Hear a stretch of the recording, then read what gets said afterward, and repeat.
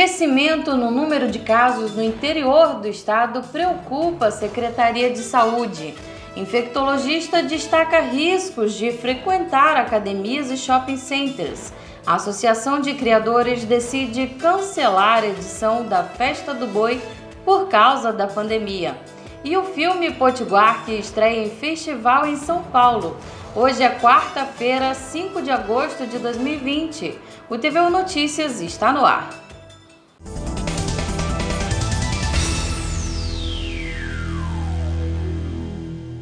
Com a taxa de transmissão da Covid-19 abaixo de 1, a Secretaria de Saúde do Estado alertou para o risco de aumento da transmissão da doença em regiões do interior do Rio Grande do Norte.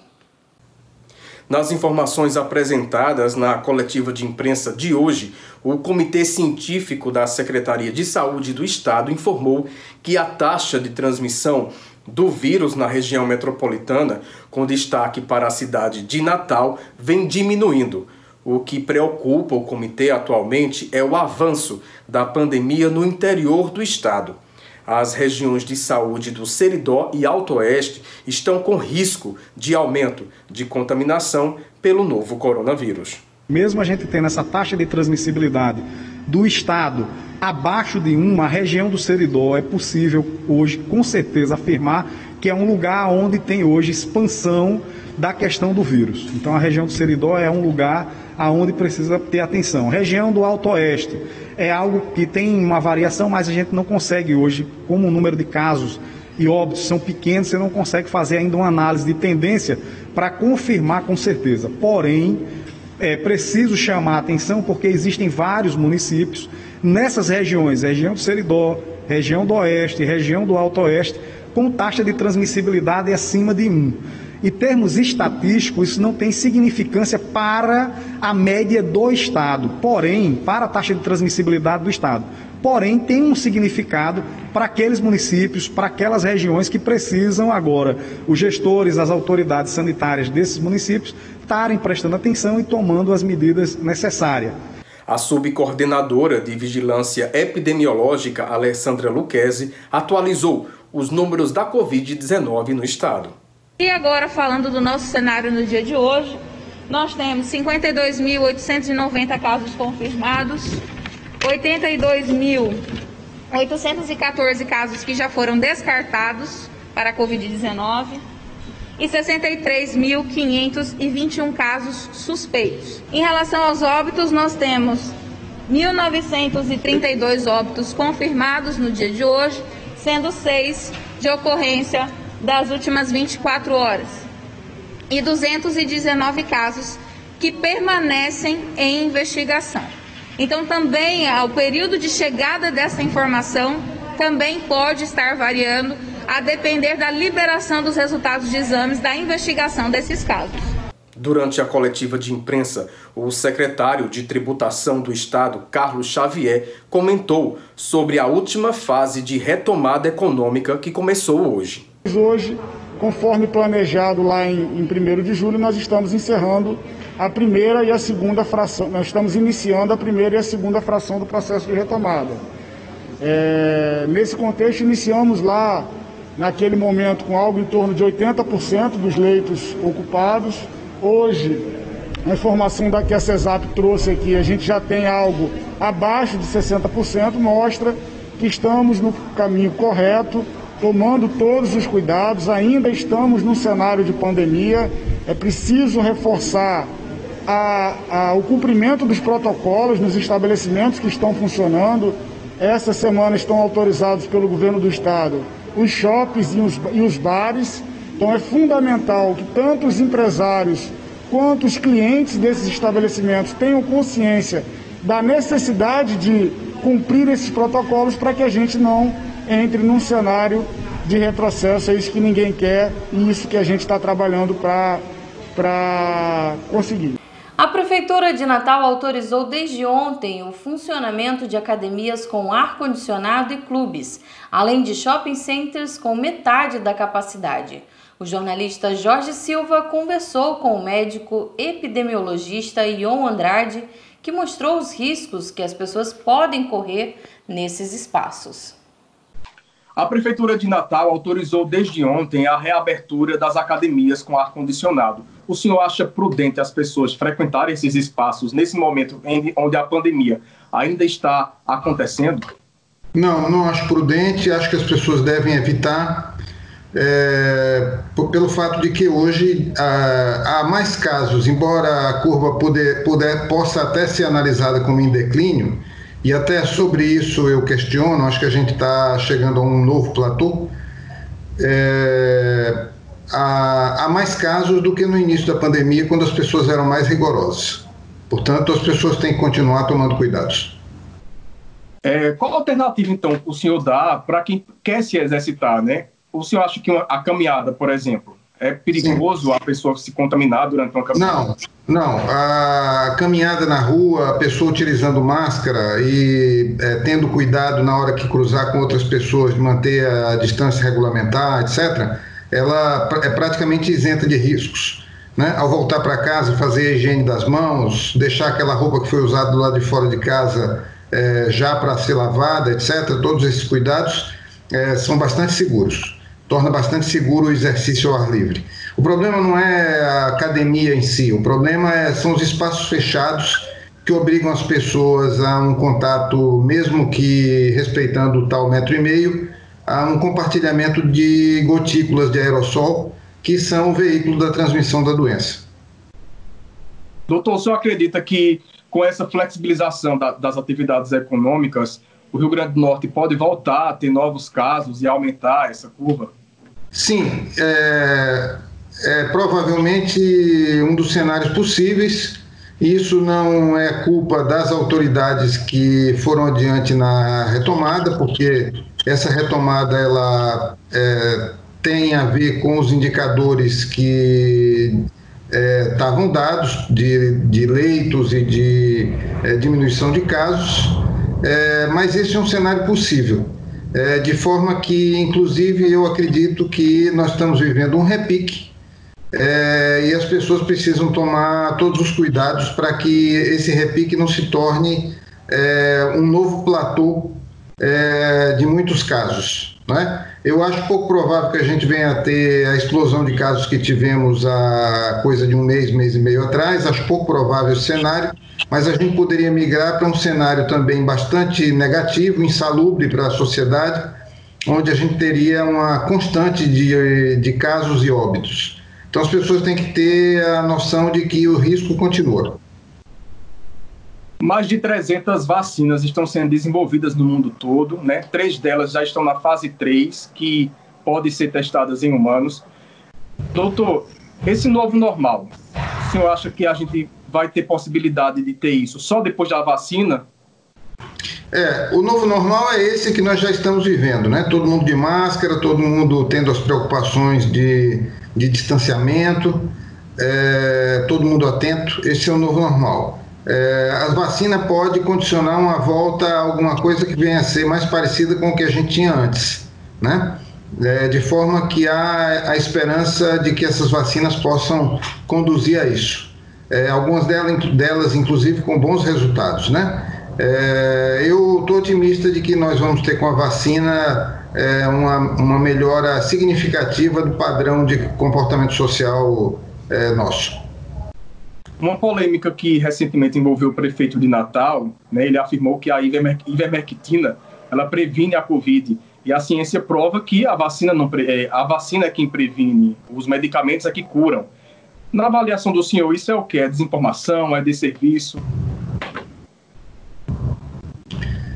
Veja, a ivermectina é um medicamento que não tem ainda é, evidências de, de eficiência, eficácia e segurança para a Covid. Não há evidências porque não há testes em humanos no volume que seria necessário em termos de quantitativo de pacientes. Não há, é, aparece que pouquíssimos ensaios clínicos é, que prevêem testar a ivermectina. Não é um medicamento que é, é, trouxe a atenção do, dos médicos no mundo da ciência da terapêutica. É, portanto, é, nós não temos evidências. É, tem sido apontado a, o declínio de casos em Natal é, como atribuível à ivermectina. Na realidade, todas as regiões metropolitanas vêm tendo declínio de casos e os casos vêm aumentando no interior dos, dos estados. De forma que nem isso é, é, pode ser atribuído à ivermectina, porque é, uma, é um comportamento global. As, a, a epidemia vem se enfraquecendo nas regiões metropolitanas.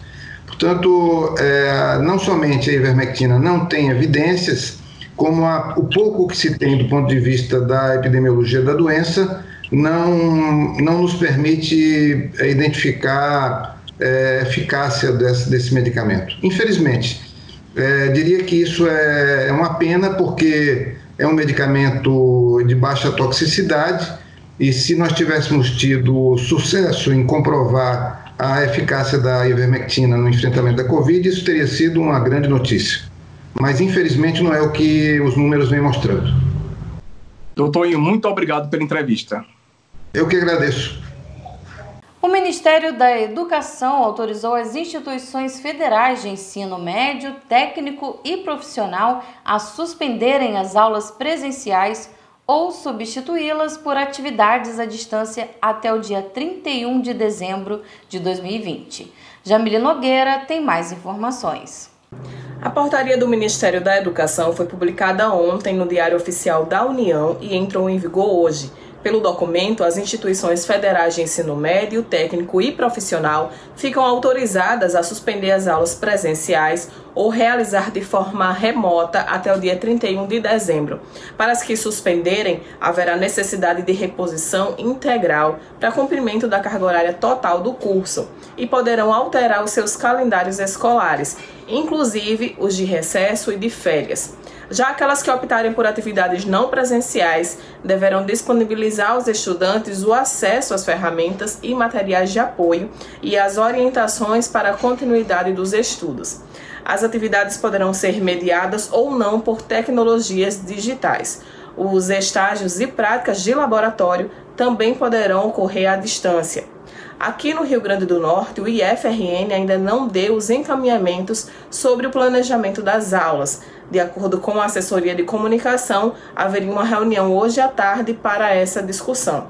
Já a representação dos estudantes, através da rede de grêmios do IFRN, cobra respostas da gestão com o IFRN parado, o IFRN sem planejamento do ensino remoto, o IFRN sem planejamento em volta às aulas presenciais. E o posicionamento dos estudantes ele é uma síntese, é bem específico. A culpa é totalmente da gestão interventora, que é, é desprovida de capacidades técnicas, é, não tem tomado nenhuma ação, nenhuma atitude. E para o IFRN andar, depende totalmente de sua reitoria ativa. É, essa questão de ensino remoto, de volta às aulas, é totalmente inerente à ideia da Pró-Reitoria de Ensino. E nós temos um Pró-Reitor de Ensino que, desde abril, só convocou duas reuniões do Comitê de Ensino, que é o comitê composto pelos diretores acadêmicos e pelo Pró-Reitor de Ensino. É, e só quem pode convocar é a pessoa dele. Então, os diretores acadêmicos tentam convocar reuniões, é, puxam reuniões, mas só quem pode é a pessoa do Pró-Reitor de Ensino. E o que ocorre é que ele não convoca reuniões de planejamento. Então é um despreparo, é uma falta de organização e os estudantes do IFRN sentem essa vontade de, sabem a necessidade de retornar às atividades, seja por vias remotas, seja por fotos presenciais, mas não há a operância da reitoria pela gestão interventora. A Polícia Civil deflagrou uma operação em Goianinha na manhã de hoje para investigar uma organização criminosa suspeita de plantar grampos ilegais contra adversários políticos. Um vereador e dois secretários municipais da cidade são os principais suspeitos de liderar a organização. A Operação Araponga, deflagrada na manhã de hoje pela Polícia Civil, investiga uma suposta organização criminosa por grampo ilegal e clonagem de redes sociais de adversários políticos na região Agreste Potiguar. Dentre os alvos da Operação Araponga, um profissional de tecnologia foi preso por força de mandado de prisão preventiva e foram alvos de mandados de busca e apreensão um vereador de Goianinha, dois secretários municipais da cidade e um ex-prestador de serviços do Fórum, também de Goianinha. Segundo as investigações, os alvos teriam contratado os serviços da organização criminosa para acompanhar os passos de articulação dos concorrentes políticos e possíveis autoridades. As identidades dos investigados não foram reveladas porque o processo está em segredo de justiça. A ação foi conduzida por policiais civis da 6 Delegacia Regional de Polícia de Nova Cruz, com apoio da Divisão Especializada em Investigação e Combate ao Crime Organizado, a DEICO. A Polícia Civil recebeu uma informação que na cidade de Goianinha, um técnico de informática estaria vendendo serviços ilegais de interceptações telefônicas. Fez, a Polícia Civil fez uma investigação e na data de hoje, 5 de agosto, acabou por cumprir buscas na residência de vários dos envolvidos e, a, e cumpriu também a prisão preventiva do técnico é, que estava oferecendo esse serviço legal. Todo o material foi arrecadado e será analisado nessa fase seguinte da investigação na busca de esclarecer de fato o que essa pessoa tensionava com esse material, qual o uso que seria dado a esse material colhido de forma ilegal. Segundo a Polícia Civil, o grupo investigado é apontado como responsável pela realização de interceptações telefônicas clandestinas e clonagem de redes sociais de autoridades e políticos da região agreste. Ainda de acordo com os investigadores, durante as apurações realizadas pela 6 Delegacia Regional, foi descoberta uma central de interceptações telefônicas clandestinas que funcionava na praia de Pipa, em Nísia Floresta. De lá, os números de agentes públicos eram interceptados ilegalmente e desviados para um núcleo em Goianinha, onde as informações eram processadas e repassadas para os contratantes dos serviços de espionagem.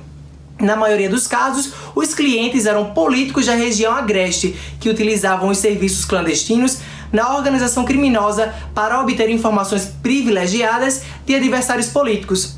A Polícia Civil solicita que a população continue enviando informações de forma anônima através do Disque Denúncia 181. Felipe Mateus para o TVO Notícias.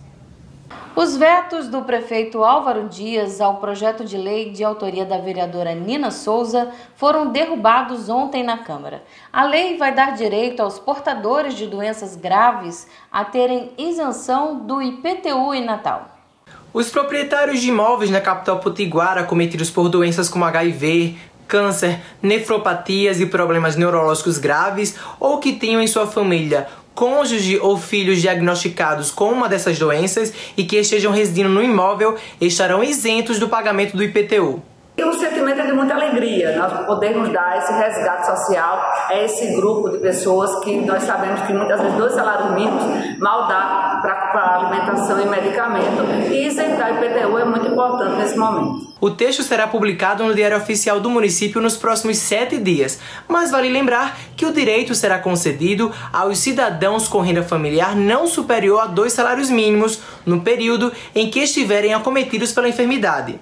Em caso de morte ou ao cessar a necessidade, a isenção é revogada.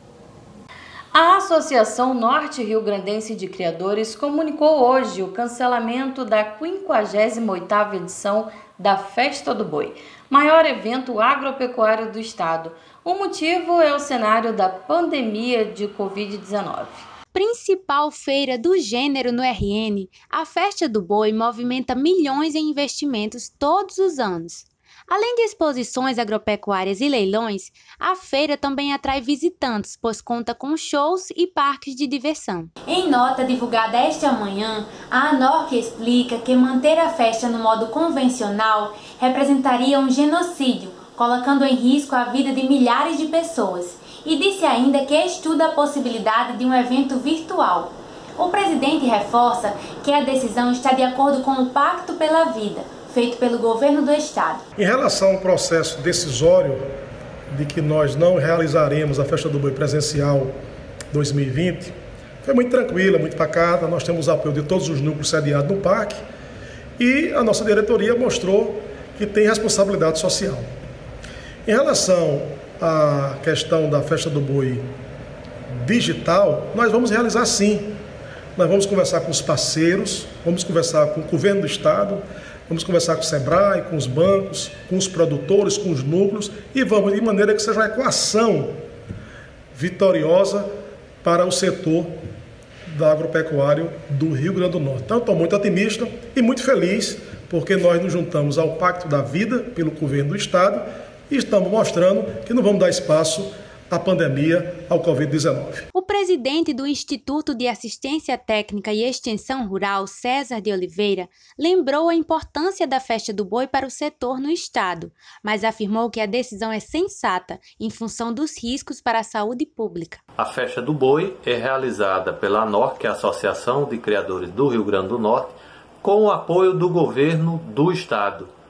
Mas esse ano ela será é, suspensa, como a NORC já anunciou, e é claro que todos nós lamentamos, mas reconhecemos, porque aglomeração, uma festa popular da dimensão da festa do boi, certamente traria muitos riscos sanitários e provavelmente muitos problemas para a saúde pública do Rio Grande do Norte e com isso muitos transtornos assim como grandes feiras que estão sendo suspensas, como também grandes eventos suspensos no Brasil inteiro, a NORC resolveu tomar essa decisão. É evidente que é, o governo do estado apoia, a Ematé é, também reconhece a importância dessa suspensão em função dos riscos.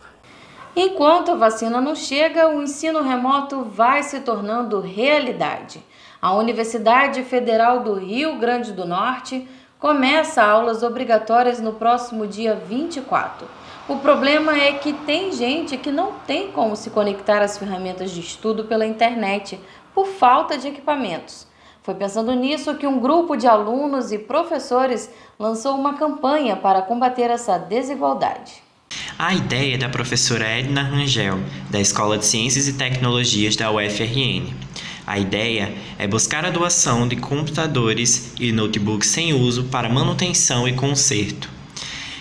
Os equipamentos serão destinados para estudantes em vulnerabilidade social para que possam acompanhar as aulas. Nós estamos fazendo uma campanha de doação de notebooks e computadores para que os nossos alunos da Escola de Ciência e Tecnologia e os alunos que precisarem depois possam cursar o semestre letivo remoto com um computador e não com um celular. O que motivou essa nossa campanha? Essa campanha começou porque eu estava agora dando uma disciplina no semestre extraordinário e muitos dos meus alunos, 15 mais precisamente, não conseguiam fazer a disciplina por causa do, da falta do computador. Eles, teriam, eles tinham que fazer tudo pelo celular e não era, a gente não está falando de um celular muito bom. Então era uma dificuldade muito grande alguns com umas dificuldades muito maiores ainda. E aí eu resolvi pedir, comecei a pedir na família, entre os amigos, para que a gente conseguisse sanar essas dificuldades e eles pudessem cursar o semestre remoto de forma mais confortável, mais produtiva. A professora ainda faz um pedido para que as doações continuem, para tentar suprir a demanda dos estudantes, que em breve voltarão às aulas pela universidade faça sua doação, ajude um aluno que quer estudar a estudar. Se você quer doar, ligue para o meu celular ou fale comigo no WhatsApp, que é o mesmo número 849-8876-8170. Professora Edna Rangel, a gente vai lhe atender e vai providenciar a, a busca desse material. Obrigada. O curta-metragem de ficção Vai Melhorar, escrito e dirigido por Pedro Fiuza, vai estrear na 31ª edição do curta Fórum, Festival Internacional de Curtas-Metragens de São Paulo. É o único representante do estado do Rio Grande do Norte na programação deste ano. Vai melhorar conta a história de Luísa, uma jornalista sudestina que é contratada para apresentar os programas de TV da campanha de um prefeito em busca de reeleição numa capital nordestina. Os conflitos profissionais, choques culturais e a pressão do ambiente de campanha política são as tramas que o filme se utiliza para tecer uma crônica sobre o Brasil e seu presente político. O curta é dirigido por Pedro Fiuza, que escreveu o primeiro tratamento de Vai Melhorar em 2016. Nada a ver com isso não, moça, mas a senhora tenha cuidado quando sair sozinha. Queira ou não, é a cara da campanha desse prefeito agora, né? O filme Vai Melhorar, ele conta a história dos bastidores de um programa político é, é, ficcional que está acontecendo numa capital nordestina e foca na, na apresentadora que se chama Luísa e que vem de fora, vem de São Paulo, para fazer esse programa. E aí nesses bastidores, Luísa descobre um escândalo e ela tem que decidir o que, é que ela vai fazer com isso, né? E ela tem que decidir a vida dela, mas de uma cidade inteira. Selecionado entre mais de 3 mil obras nacionais e internacionais, a produção Potiguar é um dos 28 filmes que compõem a programação da Mostra Brasil do Kinofórum 2020. O festival acontece desde 1990 em salas de cinema e centros culturais espalhados pela capital paulista e apresenta uma gama diversa de curtas do mundo inteiro. Esse ano, devido à pandemia, o festival será realizado de forma virtual.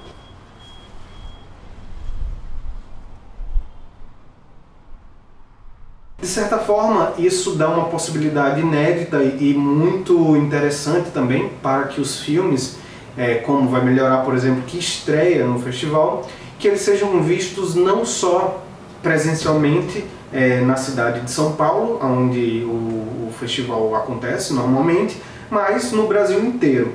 E o festival vai acontecer entre 20 e 30 de agosto e de forma gratuita, é, online e o vai melhorar, ele participa da Mostra Brasil. Serão 28 filmes é, nessa mostra, dos mais de 80 filmes que foram selecionados.